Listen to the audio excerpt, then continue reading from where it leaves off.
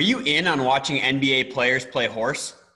Okay, we've reached an awfully depressing place way too fast. When we thought of last resort options, we've already burned these guys playing video games. I thought that that was the last resort option on entertainment, but these guys playing video games is now something we've burned, and now it's horse.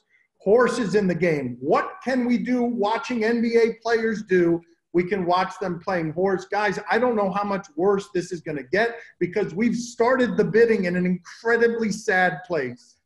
I would watch these dudes play horse every single week. If you told me that there was an NBA horse game of the week every Sunday, I would watch one every Sunday. And I feel to a degree that this will be very important because what we're going to be able to do is smoke out the people who claim to like basketball, but really just like doing math. If you are not intrigued by the idea of the greatest players in the world pulling off shots that you could never imagine, I'd watch them shoot half court shots. They're amazing at doing that. This is going to be amazing athletes doing amazing things. And I am begging the people behind this let them bet on it and let them bet on it in front of us and make them bring cash. I want to know who's going to show up with the hefty bag.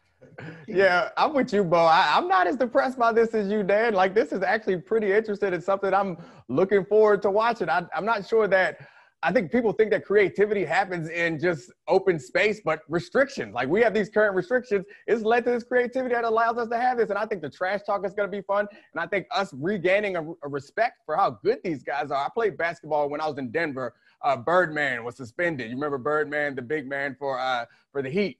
He was suspended out there in Denver, so he would come play basketball with the football team.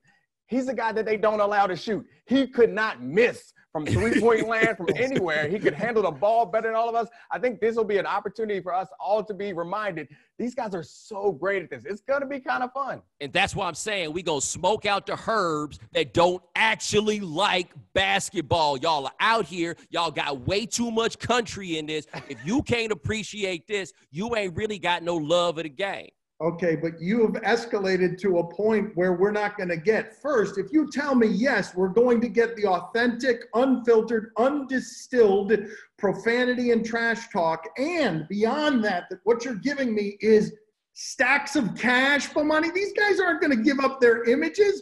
You know how much they gamble on these games? There ain't going to be guys I out know. there showing you $20,000 in maybe, cash during a pandemic. Maybe not in front of us. And if that's the case, Dan, then broke boys can't apply, right? There's enough dudes in the league that got enough cash that you little minimum salary dudes, like no disrespect, Derrick Jones Jr., I saw you playing in the 2K tournament. Chances are you can't come participate in this horse tournament if you ain't willing to bring these stacks. And if you ain't got these stacks, get your weight up, and then the next pandemic, you come out here and you can play horse.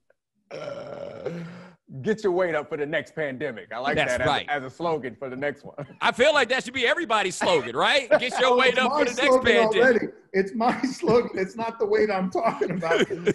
oh.